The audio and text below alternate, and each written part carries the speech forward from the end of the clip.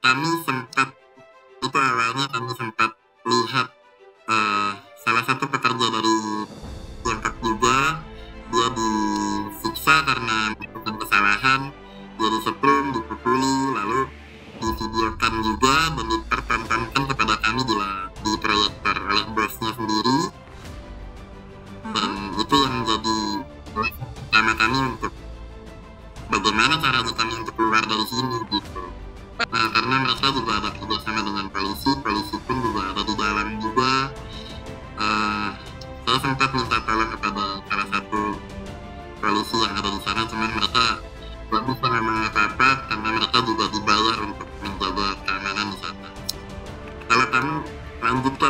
ini. Kamu akan kami bikin susah, kami siksa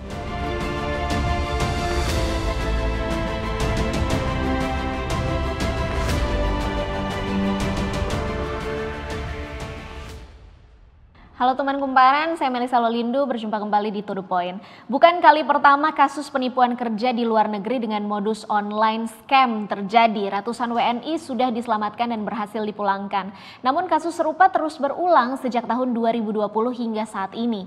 WNI yang datang ke Kamboja dengan iming-iming mendapat pekerjaan yang lebih baik terus bertambah. Niat rantau mencari nafkah, 62 orang WNI malah disekap di kawasan Sihanoukville, Kamboja oleh perusahaan investasi ilegal. Kementerian Luar Negeri bekerja sama dengan KBRI Phnom Penh Kamboja membebaskan 62 WNI yang menjadi tawanan. Nah, dari informasi terbaru yang kumparan dapatkan masih ada beberapa WNI lainnya yang belum terdata dan diduga ikut menjadi korban penyekapan dan telah berhasil membebaskan diri. Kami sudah terhubung secara virtual dengan Salah satu WNI yang sudah berhasil membebaskan diri ada Mas Reza, ini bukan nama sebenarnya, ini nama samaran yang kami pakai untuk keamanan narasumber kami. Langsung saja kita berbincang. Halo Mas.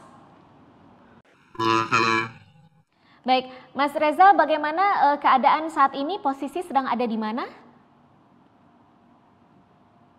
Ya, saya aman, di Baik, uh, Mas Reza, Mas domisili di Indonesia ini dari mana, Mas Reza? Boleh diceritakan? Dari pertama memang saya diajak oleh teman yang juga ikut di ini oleh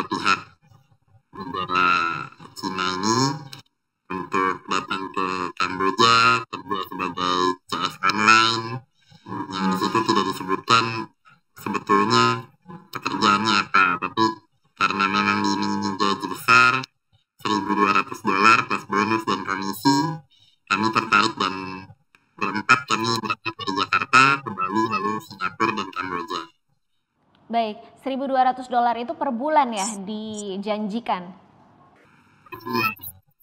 Baik untuk latar belakang pendidikan atau pekerjaan sebelumnya? Saya S1 sebelumnya juga saya juga sales juga ada marketing juga sempat jadi sales juga jadi juga. Kriteria dan fasilitas yang ditulis di sana seperti apa? Boleh diceritakan dari awal mas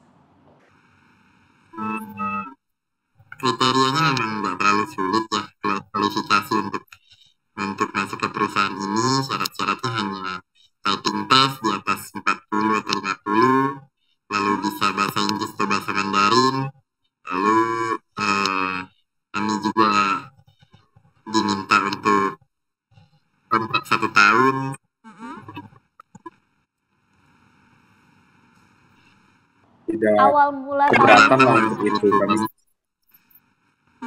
dari teman saya saya lalu Oke, uh, teman Anda ini tahunya juga dari mana? Apakah dari internet atau memang dari mulut ke mulut?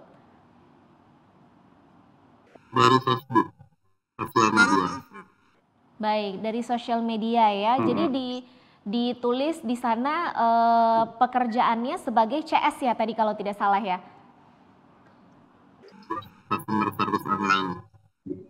Hmm, baik, customer service online. Oke. Lalu ketika dari teman ini memberikan informasi, kemudian uh, prosesnya apakah cepat begitu uh, hingga berangkat ke Kamboja atau waktu itu butuh waktu berapa bulan? sampai akhirnya bisa diberangkatkan, Mas? Hmm, saya untuk buat paspor satu minggu, lalu proses pemberangkatan itu yang semua dibiayai kantor, kecuali tiket saya dari Jakarta ke Bali yang mereka janjikan akan dibayarkan pada saat saya sampai di Kamboja. Itu satu minggu, satu minggu, dua minggu, lalu itu saya sudah sampai di penonton. Apakah sempat bertemu dengan uh, perekrutnya atau mungkin apa ya orang yang diinformasikan ini sebagai perpanjangan tangan dari perusahaan di Kamboja begitu sebelum berangkat Mas? Atau memang Mas Reza ini hanya komunikasi hanya dengan teman aja? Di Indonesia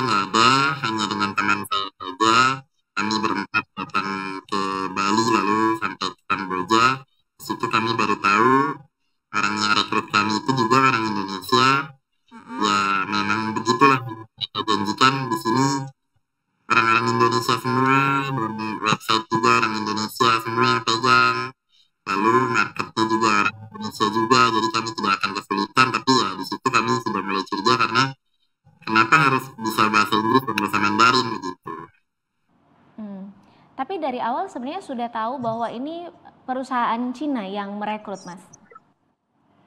Belum. Itu saya minta untuk alamat websitenya mereka tidak berikan dan saya minta untuk uh, ke saat itu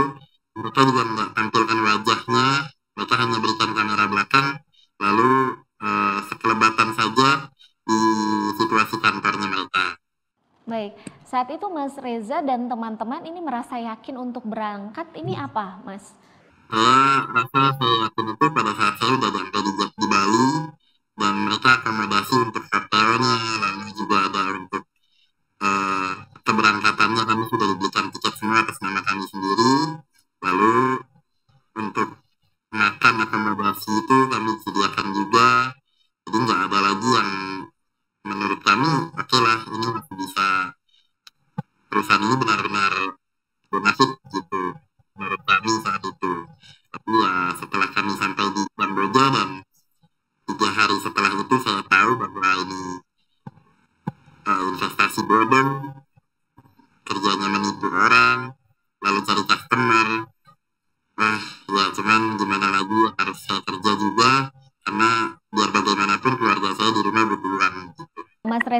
Ketika sampai di Phnom Penh, hal janggal apa saja yang kemudian dirasakan ketika sudah sampai sana bersama dengan empat teman lainnya?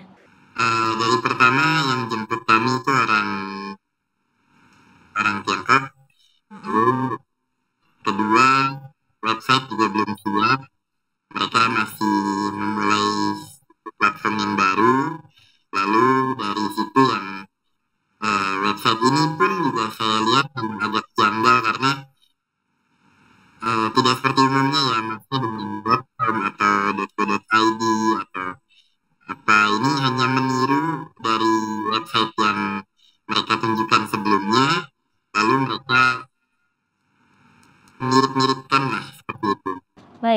kemudian uh, kalau tadi ya ada yang berasal dari Indonesia, perekrutnya yang dari Indonesia, apakah ikut ke Phnom Penh juga atau tidak, Mas? Uh, dia sudah stay di sana, saya kurang tahu berapa lamanya, tapi setahu saya itu memang sudah stay di sana lebih dari dua bulan sebelum kami sampai. Hmm. Tapi tidak bertemu ketika sampai di Phnom Penh? Bertemu dan dia mengepalai kami orang Indonesia, akhirnya dia sendiri dijemput oleh polisi Kamboja dan hmm. itu sepengetahuan saya informasi saya dapatkan dia pulang ke Indonesia dengan bayar 8.000 dolar Uh, jadi maksud Mas Reza adalah uh, perekrut ini pun merasa ditipu begitu atau? Uh, kebetulan perekrut ini yang saya tahu kasusnya dia ambil uang perusahaan juga kurang lebih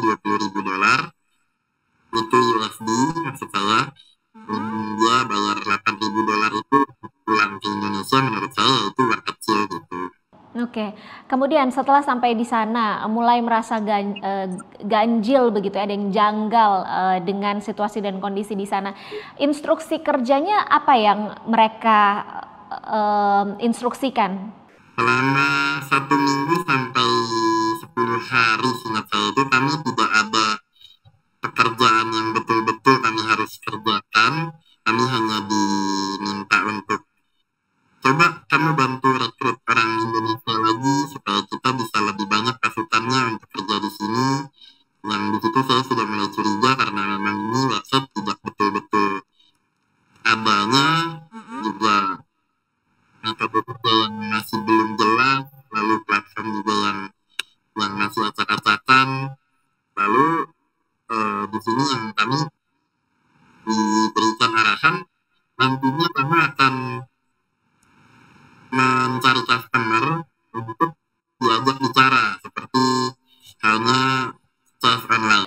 Reza, apakah Anda dan teman-teman mengalami kekerasan fisik selama berada di sana?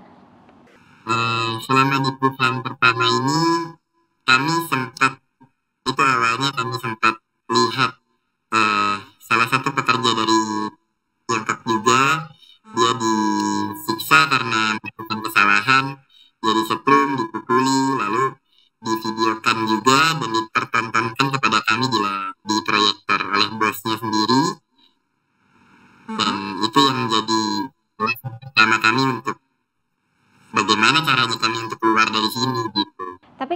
Sendiri dan teman-teman apakah mengalaminya juga atau bagaimana? setelah kami lapor ke KBRI lalu kami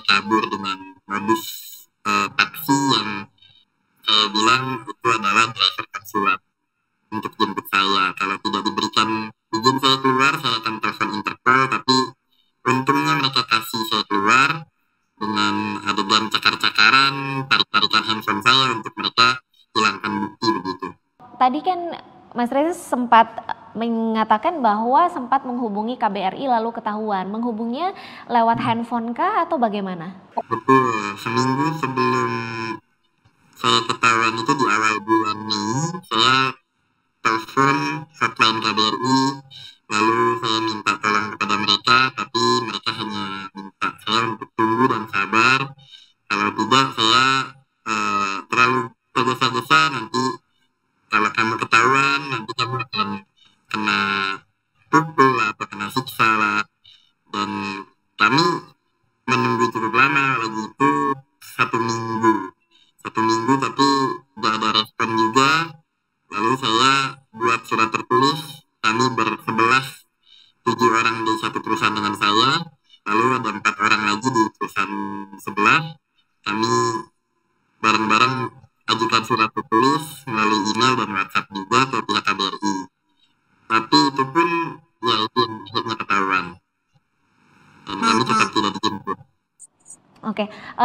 Reza kalau balik lagi sedikit ya, apakah selama di sana tetap diberikan makan dan minum yang cukup dan layak atau seperti apa? Eh, selama di sana ya kami diberikan makanan yang cukup dan layak, tapi memang khususnya untuk yang muslim tidak dipisah makanan yang haram dan halalnya. Jadi ya sebisa mungkin dipilihlah yang mana yang bisa dimakan, yang mana yang tidak boleh. Eh, waktu itu apakah sempat meminta bantuan kepada polisi, eh, Mas Reza? Polisi setempat? Sempat, saya sempat, nah, karena mereka juga ada kerjasama dengan polisi, polisi pun juga ada di dalam juga. Saya sempat minta tolong kepada salah satu polisi yang ada di sana, cuman mereka nggak bisa ngomong apa-apa karena mereka juga dibayar untuk menjaga keamanan di sana. Baik, jadi wa- waktu itu yang berjaga di sana itu siapa saja selain eh, tadi menurut Anda ada oknum polisi juga di sana, ada siapa lagi? Apakah mereka bersenjata atau bagaimana? Iya, itu ada security guard mereka itu di tiap gerbang besarnya itu dari uh, pintu masuk dan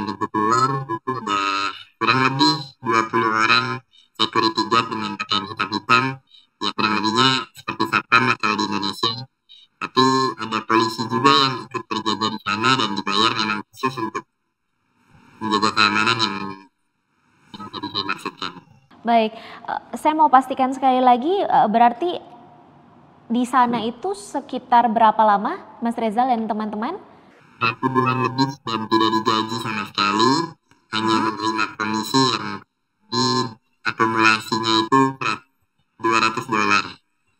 Komisinya diberikan langsung kepada Anda dan teman-teman atau hanya dijanjikan saja? Itu diberikan harian,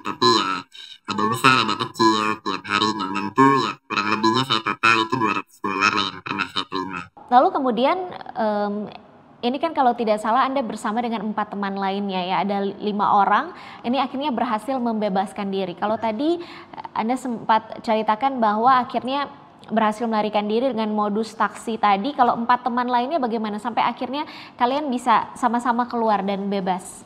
Empat teman lainnya ini yang saya maksud bukan dari perusahaan yang sama, tapi dari perusahaan yang berbeda, juga dari sana,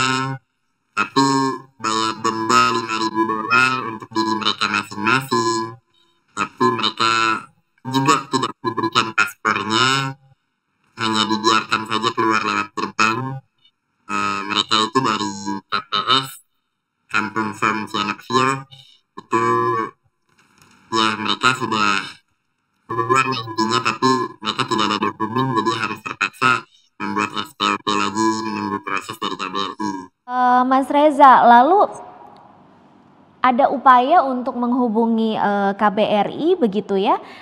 Awalnya bagaimana dan respon saat itu KBRI seperti apa? Ya, setelah saya kabur dari penonton itu Icon Center, saya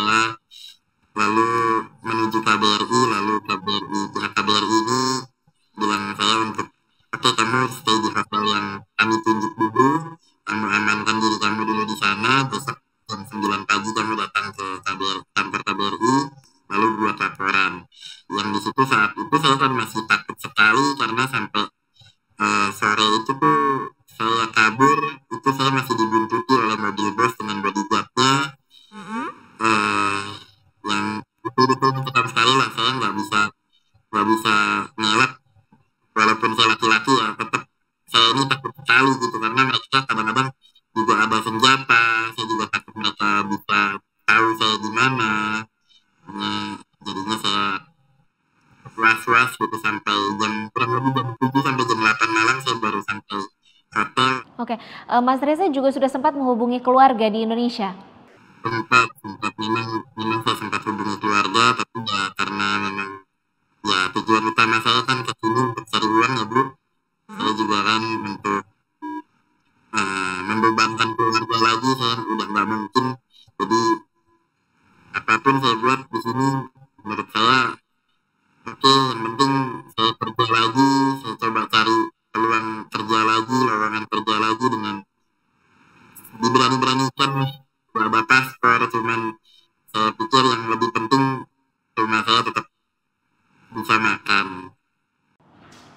Oke, jadi ini paspor juga masih ditahan ya oleh uh, pihak perusahaan ya, Mas? Ya, terakhir saya tahu kabarnya itu saya masih bisa kontak orang yang di dalam paspor saya dibakar oleh pihak HRD. Baik, berarti sejauh ini uh, respons dari KBRI adalah masih menunggu dulu ya? Untuk kami ini yang berlima kami hanya disuruh tunggu pembuatan SPLP-nya uh, surat paspor sementara lah. Hanya untuk pulang itu kami harus bayar juga untuk stay di sini. Yang kurang lebih di, dari saya itu empat uh, bulan di sini berarti saya harus bayar 1.200 dolar. Yang kurang lebih 20 juta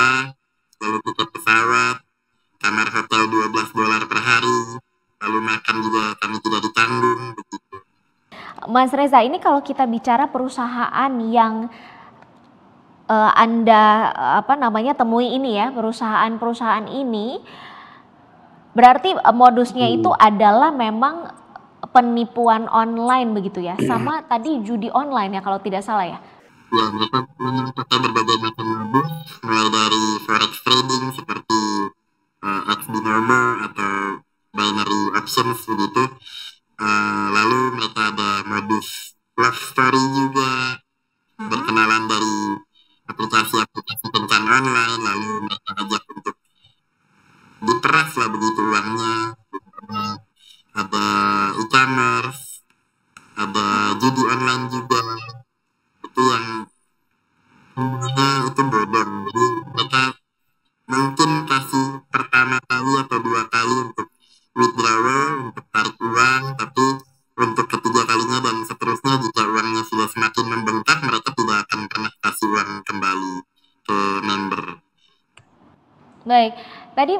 anda sempat menyebutkan bahwa uh, Anda yakin terlibat juga di sana adalah uh, kepolisian setempat begitu ya.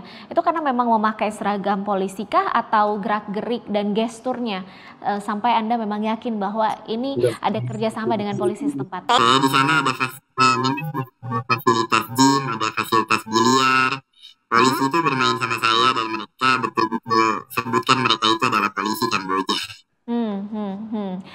ketika melapor, ya mereka tidak merespons begitu ya, dan dan memang mereka tak. Hmm. Baik, eh, jadi.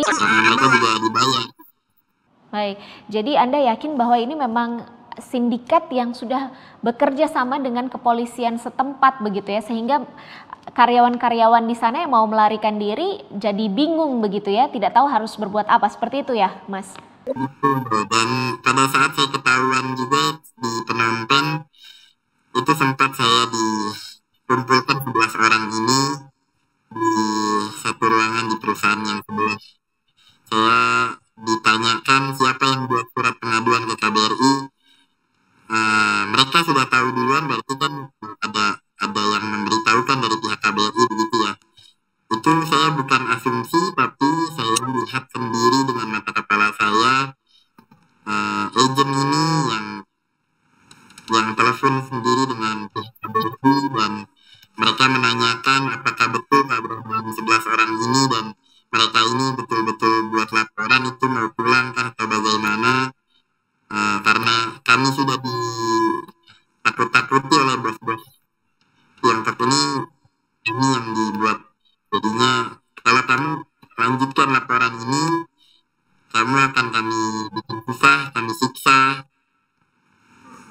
jadi kami di situ udah ada pilihan lalu kami hanya nonton aja untuk untuk proses pencabutan laporan yang mereka lakukan. Baik. Saat ini Mas Reza dalam kondisi uh, masih menunggu begitu ya dan masih terus berusaha untuk berkomunikasi dengan pihak KBRI juga 62 uh, WNI ini juga paspornya juga sama-sama ditahan jadi benar-benar semuanya ini memang tanpa paspor ya saat ini untuk 62 orang ini saya pastikan mereka paspornya sudah dipegang oleh pihak KBRI tapi beberapa dari mereka juga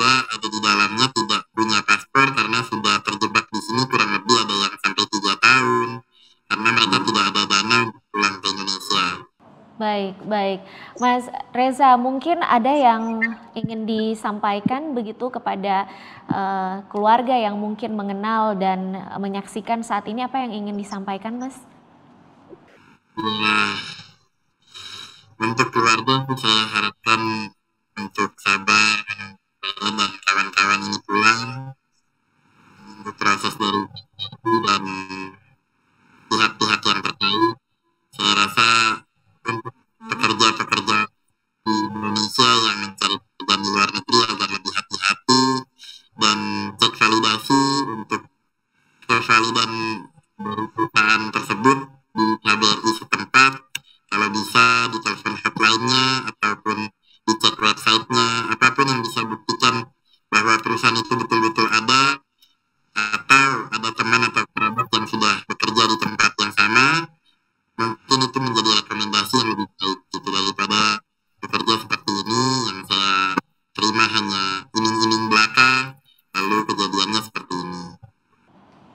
Baik, baik. Mas Reza, uh, terima kasih banyak untuk waktunya disempatkan. Uh, ini ini masih dalam kondisi masih menunggu kepastian kepulangan ke Indonesia ya, Mas Reza. Kami berharap tentunya kami uh, doakan agar ini prosesnya bisa berlangsung dengan uh, baik dengan semestinya dan dengan lancar dan uh, semoga ada jalan keluar yang terbaik untuk bisa kembali ke tanah air Mas Reza dan teman-teman terima kasih banyak untuk waktunya bersama Kumparan. Ya teman kumparan sekian perbincangan kami dengan narasumber ini salah satu WNI yang diduga ikut menjadi korban penyekapan di Kamboja dan semoga teman kumparan bisa tercerahkan mengenai eh, kasus ini dan semoga tidak akan ada lagi korban-korban dengan modus serupa di kemudian hari. Saksikan berbagai tayangan wawancara eksklusif kumparan lainnya di website dan YouTube kumparan. Saya Melisa Lolindu dan tim yang bertugas pamit undur diri. Terima kasih dan sampai jumpa.